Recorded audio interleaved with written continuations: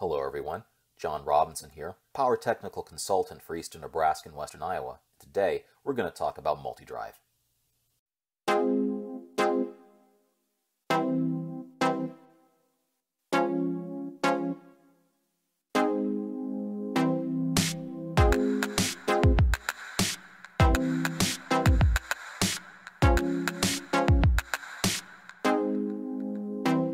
Multi-drive is a feature of component class PowerFlex drives that allows one drive to serve as an RTU master with up to four follower units.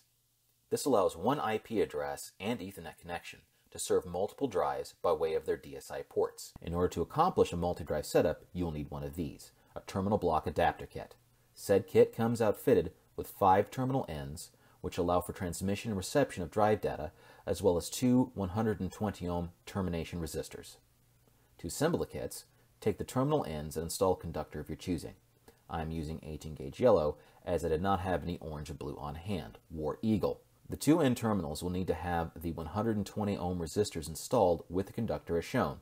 Do not skip this, as the system may not work well without them. Since we only have two drives for our example, we will use resistors for each of our two connectors. Our cable is open air, but if signal noise is a concern, then a shielded cable should be used. And no, you do not need to cut yourself to accomplish any of these tasks. Plug the cables into the drives when they are off or a COM error may occur. Once the physical setup is complete, program your drives according to the directions that may be found in the user manuals for your drive, or by going to the Solution Consultant website and taking advantage of the VFD main help page, links provided in the description. Once your drives are configured, you may access them with either Connected Components Workbench or Studio 5000.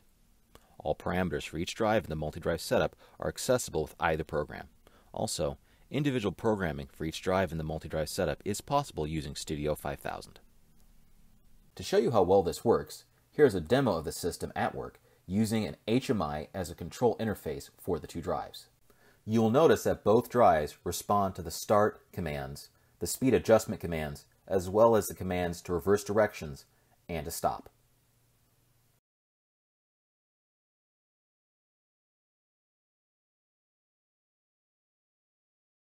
And that is a fine example of a multi-drive setup, if I may say so. And to wrap things up, here are the pros and cons of multi-drive. Pros, lower hardware costs, only one node needed for five drives.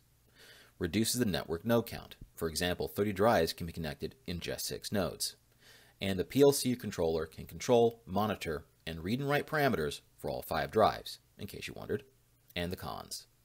Loss of the master drive will lose communication to all drives. The follower drives will undertake the COM loss action programmed. Communications throughput is slower. Drive communication is sequential through one node. It takes up a DSI port on the follower drives, and you cannot use a splitter cable when in multi-drive mode for a 1203 USB or a HIM module. And finally, automatic device configuration does not work when in multi-drive mode.